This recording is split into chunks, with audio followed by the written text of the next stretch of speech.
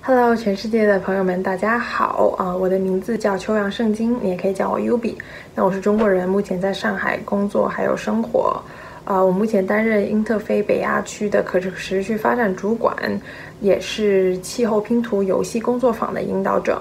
我今天会为大家介绍拼图中工业这个概念。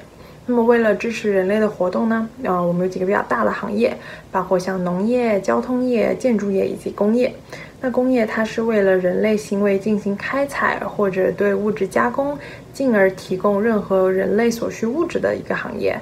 在工业的开采还有加工过程中呢，会使用大量的化石能源还有电力，从而导致百分之四十的全球温室气体排放。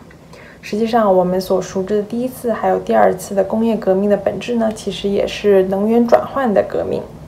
无论是蒸汽、电气，还是后来的这个石油的能源，它都属于化石能源。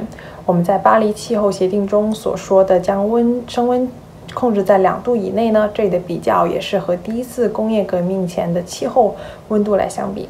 那么，假如你想了解更多工业会导致的气候变化的后果呢，请查看其他卡片的视频。谢谢。